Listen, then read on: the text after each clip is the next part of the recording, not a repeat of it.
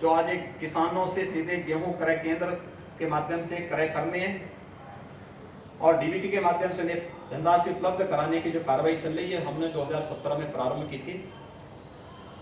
2016 की अगर मैं बात करूँ 2016 में केवल सेवन लाख मीट्रिक टन गेहूँ का क्रय हुआ था। हम लोगों ने कल तक चौवन लाख मीट्रिक टन गेहूँ का क्रय सीधे किसानों से किया है। बलिया जनपद में पिचासी हज़ार मीट्रिक टन से अधिक गेहूँ का क्रय तक किसानों से हुआ है। अगर विगत वर्ष की तुलना हम करेंगे तो विगत वर्ष मात्र अड़तालीस हज़ार मीट्रिक टन गेहूँ का क्रय हुआ था तो अड़तालीस हज़ार की तुलना में काफ़ी आगे, काफ़ी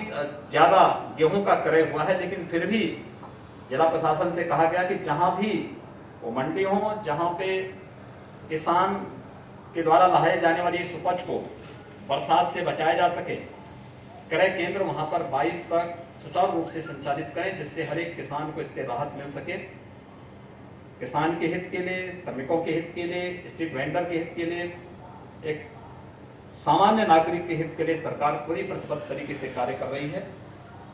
हम न केवल कोरोना के खिलाफ इस लड़ाई को जीतेंगे, बल्कि विकास की प्रक्रिया को तेज़ी से आगे बढ़ाते हुए जो स्वास्थ्य सुविधाओं को और बेहतर करने की में जो प्रस्ताव यहाँ पे हमारे जनप्रतिनिधियों ने उपलब्ध कराए हैं सरकार उस पर गंभीरतापूर्वक विचार करते हुए उस कार्यक्रम को आगे करेगी धन्यवाद